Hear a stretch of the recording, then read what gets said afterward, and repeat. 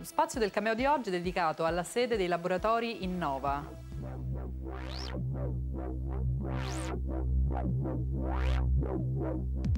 L'edificio, progettato dagli architetti Sergio Bianchi e Adriano Draghino, si inserisce nel Parco Tecnologico Industriale della Tiburtina, un piano di zonizzazione destinato alle attività produttive.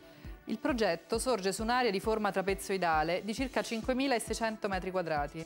L'accesso principale è su uno dei fronti di minore estensione. Una strada distribuisce ad anello l'intero comprensorio. La sede ha una dimensione contenuta, prevede due diverse articolazioni formali che rispondono alle esigenze del programma funzionale. La zona a piano terra è più articolata, ospita un volume a doppia altezza necessario per i processi produttivi previsti, produzione industriale leggera e processi legati a tecnologie avanzate. Ai piani superiori lo spazio è più regolare e contiene una piccola zona uffici e un ampio spazio aperto destinato all'attività produttiva.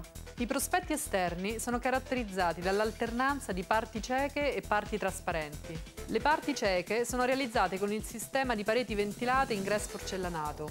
Le parti finestrate utilizzano pannelli vetrati continui. Sovrasta la zona del solaio di copertura una struttura metallica con funzione di frangisole che permette di contenere il soleggiamento in particolare nei mesi estivi. La lezione di questa architettura risiede nell'attenzione alla sostenibilità del progetto e alla qualità degli spazi anche dei luoghi destinati alla produzione e al lavoro.